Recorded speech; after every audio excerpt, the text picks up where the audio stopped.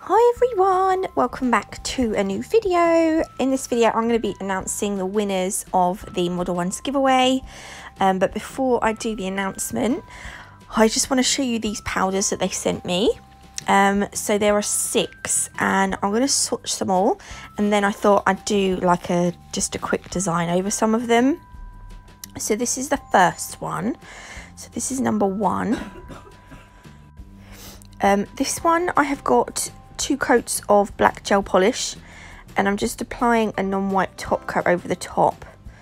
Um, I think they all go over a non-wipe top coat but two of them I put on a tacky layer because I thought they just looked a bit nicer but I do show you them over both so as soon as that top coat comes out the lamp um, the eyeshadow applicators they sent with the pigments which is which is good of them.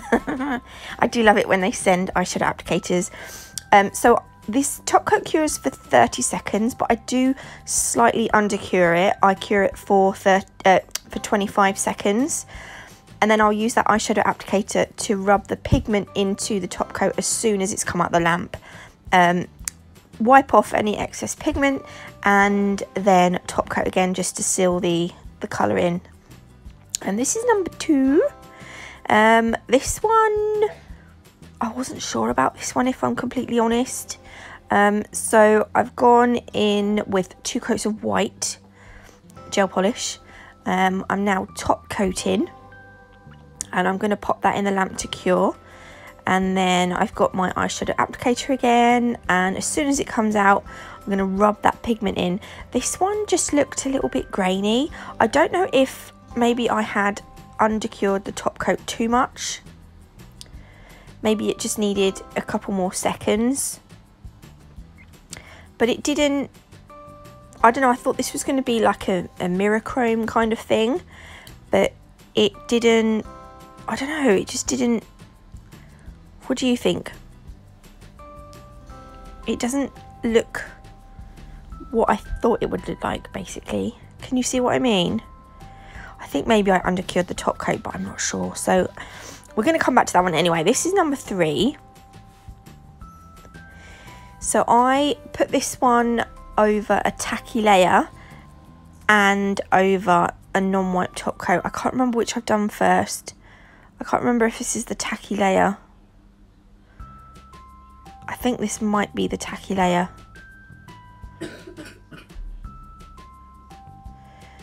And then I'm going to brush off any excess pigment and then I will top coat.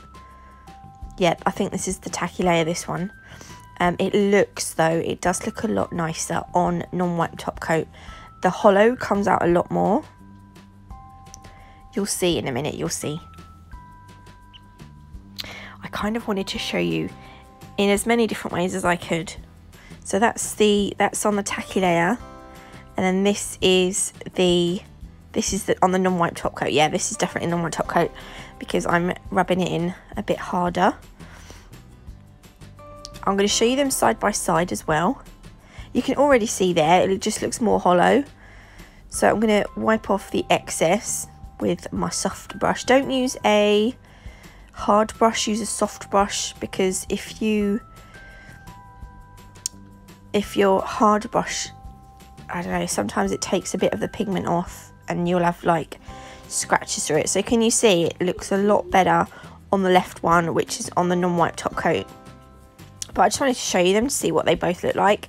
Number four and number five, these are the ones that I thought looked nicer on a tacky layer. But I'm going to show you them on um, on a non-wipe top as well. So I'm going to do these over black.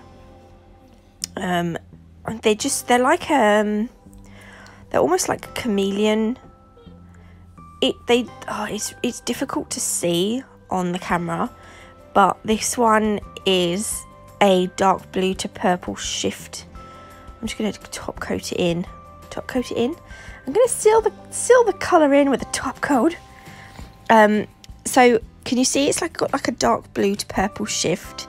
This is a really pretty one and then this was it over non-wipe top coat so you can see you get more of um like in the where the light hits is where you see that shift And then this is number five. So this is the same kind of thing, only this is more of a turquoisey blue to a different, like to a darker blue.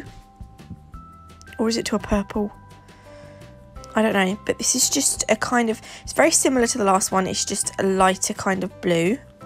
It's almost like a, just like a slightly different shade. So that's that one. I think these are really pretty. And then I'm going to show you this over a non-wipe top coat as well. So, oh, hang on. Right, so these are them on the tacky layer. So you can see the one on the left is slightly darker, which is number four. And number five is a slightly different shade.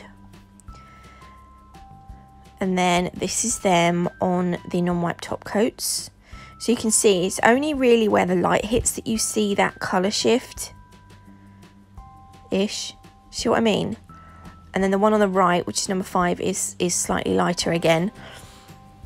Um, number six, I wasn't sure what this was initially. There wasn't much in it. And I thought, oh, that's a bit tight. Because I just thought, right, you have to, you. I'm going to put this on a top coat. But um, I thought it was very similar to number one. And in number one, you get a bit more in the pot. But turns out this one, it's got a sneaky surprise in it. So as soon as that comes out the lamp, rub it in. It looks like, again, it looks like a kind of chameleon. It's got like a colour shift. It's sort of like a, oh, it's almost like a brownie gold to purple. It's difficult to describe because I'm not very good at describing colours. But when you top coat it, in a minute, can you, I don't know if you can see it very well, but it's got, it's got like a holo it's holo as well. It's holo. I don't know if you can see it. Which is probably why there's not much in the pot because when things are holo you get you get less of the powder in the pot. Can you see it? Can you see it? It's difficult, but I think you might be able to see it. But it was really pretty, that one. So those are the powders. Right, this first one, I decided to put some leaves on. So I'm just gonna I'm gonna speed this bit up a little bit because um I'm not this is not really a tutorial this is just a I just wanted to put a quick design over the top of some of them so this one I'm just gonna add some gold leaves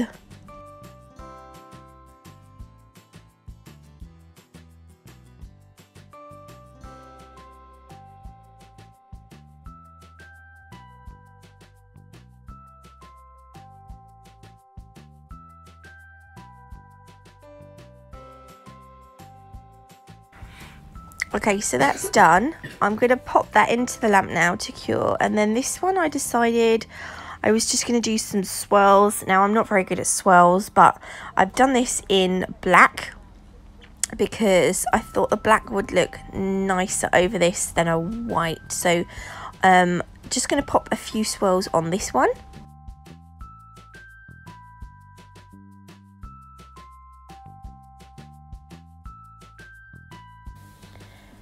Okay, so that is that one done. And then this one, I thought I would put some, I don't know, some circles on.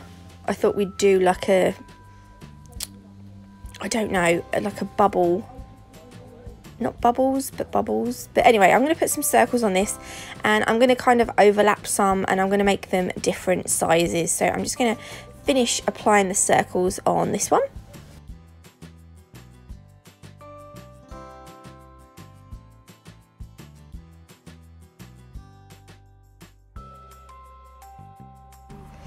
Okay, so I'm going to leave that one like that and cure these in the lamp. And then I've decided that with the with this one and the one with the gold leaves on, I am going to go over them with matte top coat to see what they look like.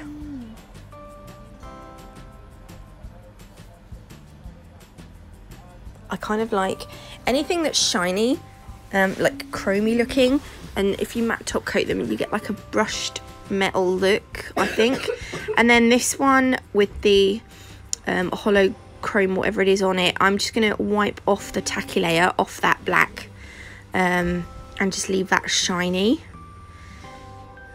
see so these look like um, Do you know? Do you know what I mean? They look like a brushed metal look now. I like actually like those like that. Um, so yeah, so these are all the powders. You can get 10% off by using code Natalie Natalie double zero. Sorry. Um, so in a minute, oh here we go. Here we're to announce the winners. If the winners could message me on Instagram or Facebook or whatever, um, then I will send your addresses over to Modelones and then they will send you out the prizes. So good luck everyone and I will see you in tomorrow's video.